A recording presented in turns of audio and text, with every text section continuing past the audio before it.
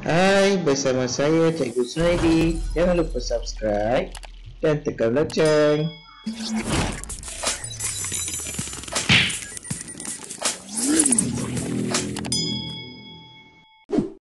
Hai, Assalamualaikum dan selamat sejahtera. Okey, hari ini saya nak tunjukkan pada kawan-kawan semua cara kita nak masuk ke dalam portal uh, MR portal UI untuk kita masuk ke dalam Microsoft OneNote ya dengan menggunakan portal MROI. Okey, kita pergi pada short form short form pula. Short uh, link uh, gg.gg dash uh, slash dc dash dl ya. Okey, kita masuk.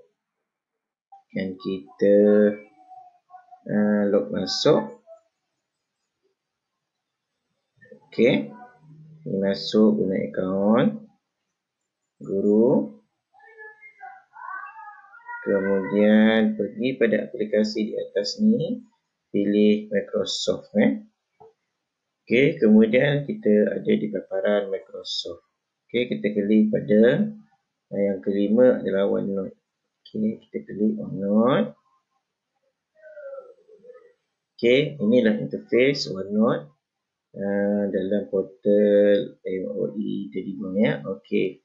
Untuk kita buka, kita just klik OneNote new uh, new notebook eh. Okey, dia akan minta okay, so kita bagilah tajuk. Tajuk subjek ke, tajuk uh, tugasan ke ataupun tajuk uh, yang kita nak buat. Okey, contoh kita test dulu ya. Test saya tak ini sekata Okey. Kita create dia new. Okey, dia akan buka satu lagi interface di dalam uh, OneNote tu sendiri.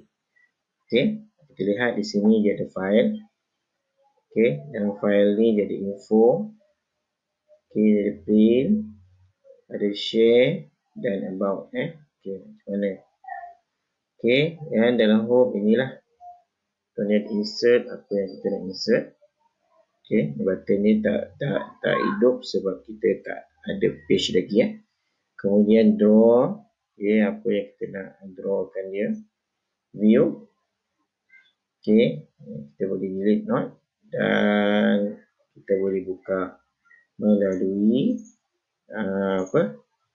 melalui aplikasi di dalam Office desktop lah.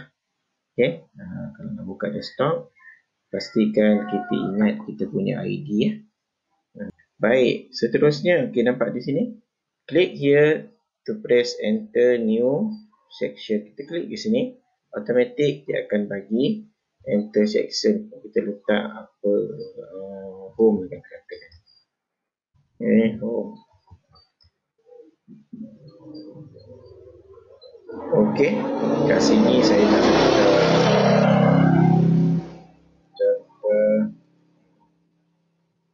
biasanya sejarah. Ini sejarah. Kemudian kita nak buat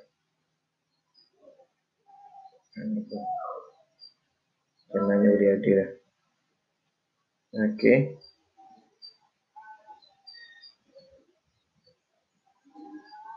Okey. Sejarah. Bawah sejarah kita. Uh, Okey. Home. Kemudian kita masuk lagi. Kita boleh klik kanan. Masuk lagi page. Kita masuk page apa.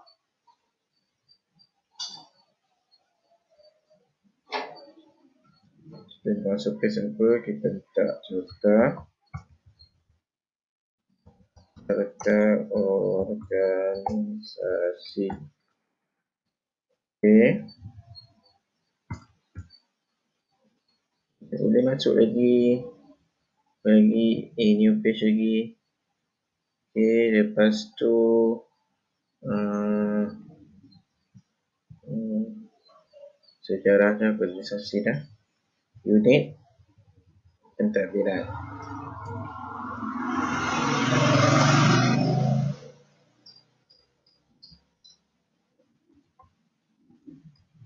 Kurikulum okay tambah lagi unit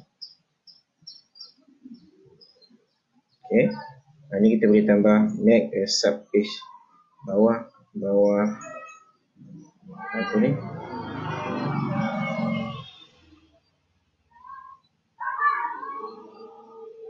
Dia boleh buat hmm? dia boleh buat sub page kalau kita buat sub page lah. Okey okey kita boleh letak atas bawah kita boleh edit. Okey uh, automatic. Uh, dia dah ada dah eh? dia dah ada apa ni? Uh, hari tarikh dan bulan semua. Dan kita masukkan apa-apa saja kat sini. Eh, contoh pronunciasi unit uh, curriculum contoh unit and unit curriculum okay, kita boleh uh, buat okay, uh, ikut apa yang kita suka. Okey, itu saja untuk kali ini.